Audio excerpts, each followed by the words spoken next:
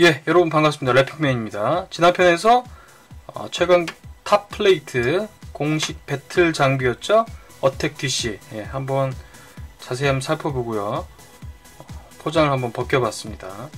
지금은 이제 어, 래핑맨만의 전용 경기장에서 한번 플레이를 해볼 건데요. 일단은 어택디쉬에 어, 스티커를 붙였네요. 한번 보죠.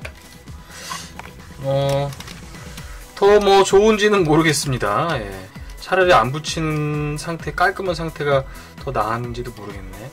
자, 4개 십각형인데 4군데 붙여줬고요. 자, 진짜로 이제 해보죠, 그러면은. 자, 이거를 오른손에, 오른손에 해야 되는 거겠죠? 복잡해.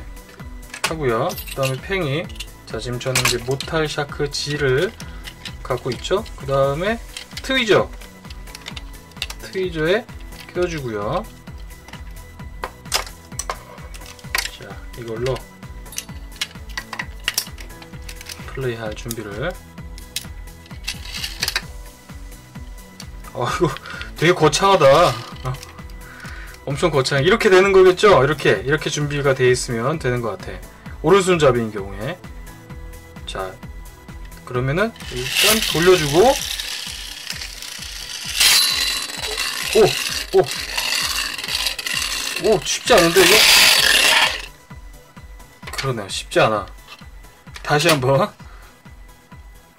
아 이거 어디다 끼워야 되나? 이렇게 어린이들 친구 손에 맞춰서 그런가? 저한테는 좀 작은데요?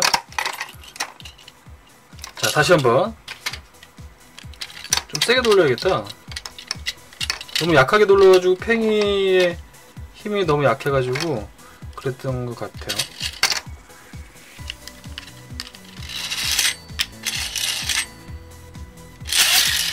자, 돌리고. 워워워 자! 이런 식으로? 어. 아 이거 연습이 많이 필요하겠는데요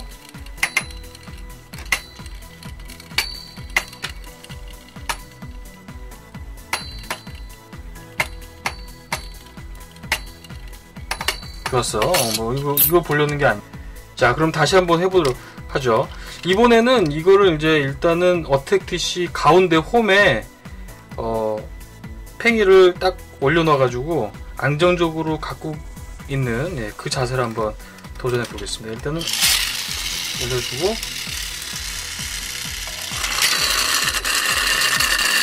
오야 안정적이긴 하네요. 근데 여기 있으면은 예. 원하는 지금 제가 촬영하면서 같이 하느라고 좀 불안하긴 어. 이 근데 모탈 샤크 G가 이 apex가 납작해서 원래 어, 안정적이지가 않고요. 공격형이죠. 그래서 여기에 있더라도 아, 아주 난리를 치면서 움직이네요. 자 이번에는 마지막으로 마지막으로 가장자리 부분에서 한번 어, top plate 팽이를 가장자리 부분에서 한번 유지시켜 보도록 하겠습니다. 아, 그림 빠지나? 튀어나와봐. 와우. 야, 이 난리인데, 이 친구? 어, 이거 쉽지 않네. 이게 굉장히 훈련이 필요하겠네. 이거 자유자재로 원하는 위치에 팽이를 위치시켜서 딱 필요한 순간에 공격시키기 위해서는 아 이게 지금 자 크기가요 다 어린 친구들한테 맞춰져 있어 가지고 좀 작네요. 자 어, 다시 한번 오 아파 자 마지막입니다 뭐 안되면은 아 이게 안된다 그렇게 알고 넘어가도록 하죠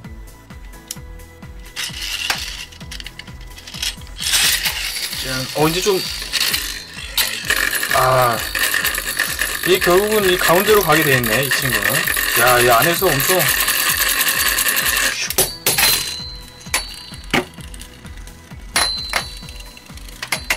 자, 그래 모타 샤크지 아, 굉장히 정신없는 친구입니다. 공격 굉장히 공격적이네요, 친구가.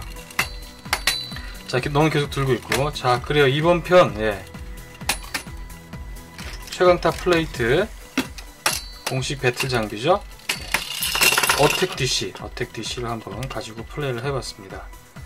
이걸 가지고 어, 다른 팽이를 공격한다든가 그러기 위해서는 이 attack dish를 굉장히 익숙해져야 되지 않을까 그런 생각이 드네요. 그리고 팽이의 특성에 따라서 또 움직이는 궤도나 궤적이 다르기 때문에 그런 팽이하고의 궁합이라든가 그런 것도 연습이나 그런 게 필요할 것 같습니다.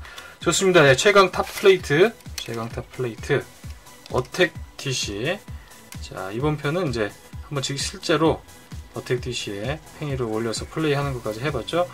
자, 좋아요 많이 눌러주시고요. 구독도 많이 해주시고 댓글도 많이 남겨주시기 바랍니다. 전 래핑맨이었고요. 또 다른 장난감으로 만나도록 하죠.